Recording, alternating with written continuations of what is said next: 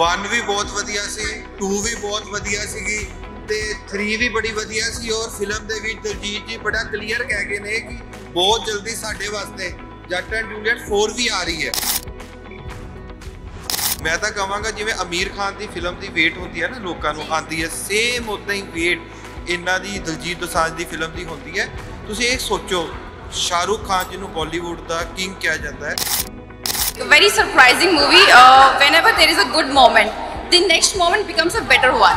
So I can't even select a good moment. So this is always better and be- better when Diljit comes. Both are मतलब कि पूरा full entertaining है जिसे कहते हैं कि एक एंटरटेनमेंट है कि जस्ट कॉमेडी नहीं है और एक बहुत अच्छा लेसन भी है मूवी में कभी कुछ कॉमेडी कभी कभी इमोशनल कभी सब कुछ है ਦਲਜੀਤ ਭਾਈ ਦਾ ਕੰਮ ਕਮਾਲ ਆਬਵੀਅਸ ਹੁੰਦਾ ਹੀ ਆ ਉਹਦਾ।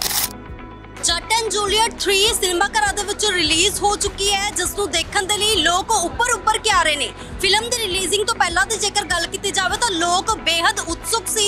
ਇਸ ਫਿਲਮ ਨੂੰ ਦੇਖਣ ਦੇ ਲਈ ਤਾਂ ਲੋਕਾਂ ਦੇ ਨਾਲ ਗੱਲਬਾਤ ਕਰਾਂਗੇ ਕਿ ਆਖਰ ਉਹਨਾਂ ਨੂੰ ਇਹ ਪਰਸਨਲੀ ਫਿਲਮ ਕਿੱਦਾਂ ਦੀ ਲੱਗੀ ਹੈ? ਸਰ ਜੱਟ ਐਂਡ ਜੂਲੀਅਟ 3 ਤੁਹਾਨੂੰ ਕਿਵੇਂ ਦੀ ਲੱਗੀ? ਜੱਟ ਐਂਡ ਜੂਲੀਅਟ 1 ਵੀ ਬਹੁਤ ਵਧੀਆ ਸੀ 2 ਵੀ ਬਹੁਤ ਵਧੀਆ ਸੀਗੀ। ਤੇ 3 ਵੀ ਬੜੀ ਵਧੀਆ ਸੀ ਔਰ ਫਿਲਮ ਦੇ ਵਿੱਚ ਦਲਜੀਤ ਜੀ ਬੜਾ ਕਲੀਅਰ ਕਹਿ ਗਏ ਨੇ ਕਿ ਬਹੁਤ ਜਲਦੀ ਸਾਡੇ ਵਾਸਤੇ ਜੱਟ ਐਂਡ ਜੂਲੀਅਟ 4 ਵੀ ਆ ਰਹੀ ਹੈ।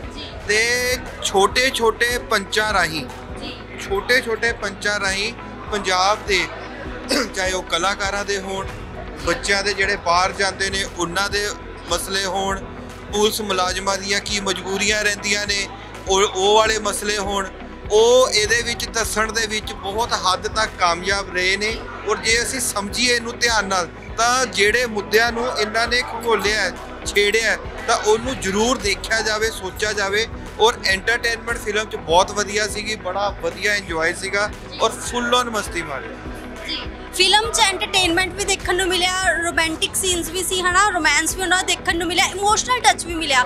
ਪਰਸਨਲੀ ਤੁਹਾਨੂੰ ਕਿਹੜਾ ਟੱਚ ਵਧੀਆ ਲੱਗਿਆ?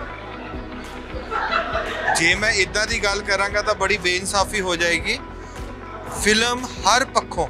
ਹਰ ਪੱਖੋਂ ਜੀ। A to Z 1 to 100 ਬਹੁਤ ਵਧੀਆ ਸੀ।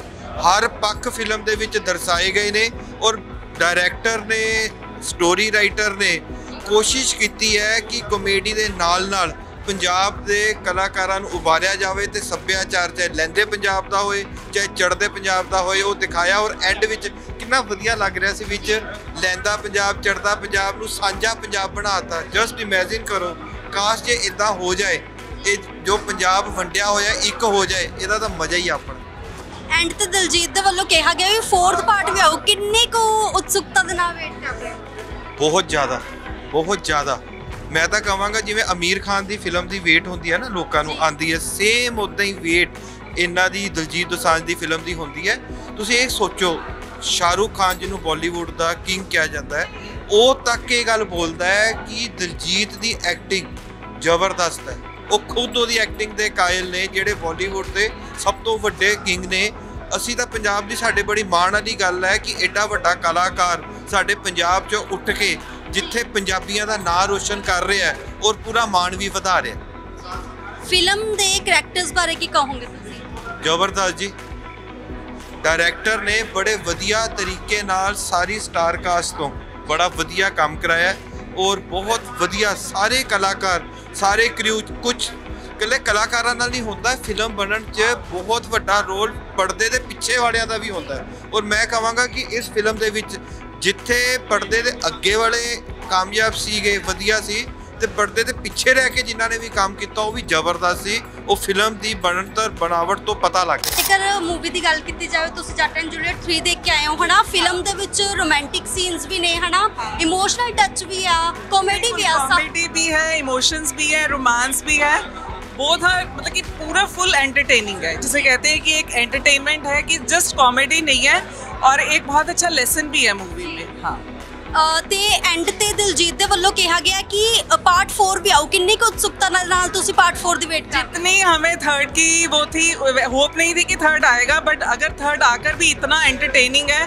तो वी आर होपिंग फॉर कि वो फोर्थ भी जल्दी आए ਜੱਟ ਐਂਡ ਜੂਲੀਅਟ ਨੇ ਵੀ ਤੁਹਾਨੂੰ ਬਹੁਤ ਐਂਟਰਟੇਨ ਕੀਤਾ ਤੇ 2 ਨੇ ਵੀ 3 ਵੀ ਐਂਟਰਟੇਨ ਕਰ ਰਿਹਾ 4 ਤੋਂ ਕੀ ਐਕਸਪੈਕਟ ਕਰ ਰਹੇ ਹੋ ਉਹ ਵੀ ਐਂਟਰਟੇਨ ਕਰੇਗੀ ਲੋਕਾਂ ਦੇ ਨਾਲ ਗੱਲਬਾਤ ਕੀਤੀ ਹੈ। ਦੇਖਿਆ ਤੁਸੀਂ ਕਿ ਕਿੰਨੀ ਪਸੰਦ ਆ ਰਹੀ ਹੈ ਲੋਕਾਂ ਨੂੰ ਜੱਟ ਐਂਡ ਜੂਲੀਅਟ 3 ਇਵਨ ਕਿ ਜੱਟ ਐਂਡ ਜੂਲੀਅਟ 4 ਦਾ ਵੀ ਲੋਕ ਉਤਸੁਕਤਾ ਦੇ ਨਾਲ ਇੰਤਜ਼ਾਰ ਕਰ ਰਹੇ ਨੇ। ਲੋਕਾਂ ਦਾ ਕ੍ਰੇਜ਼ ਇਸ ਫਿਲਮ ਨੂੰ ਲੈ ਕੇ ਦੇਖਣ ਦੇ ਲਈ ਮਿਲਿਆ ਤਾਂ ਇੱਕ ਵਾਰ ਤੁਸੀਂ ਵੀ ਜ਼ਰੂਰ ਦੱਸੋ ਕਿ ਤੁਸੀਂ ਇਹ ਮੂਵੀ ਦੇਖਣ ਦੇ ਲਈ ਗਏ ਜਾਂ ਫਿਰ ਨਹੀਂ। ਜੇਕਰ ਦੇਖੀ ਹੈ ਤੁਸੀਂ, ਤਾਂ ਤੁਹਾਨੂੰ ਜੱਟ ਐਂਡ ਜੂਲੀਅਟ 3 ਕਿਵੇਂ ਦੀ ਲੱਗੀ ਹੈ ਤੇ 4 ਦਾ ਕਿੰਨੀ ਕੁ ਉਤਸੁਕਤਾ ਦੇ ਨਾਲ ਇੰਤਜ਼ਾਰ ਕਰ ਰਹੇ ਹੋ?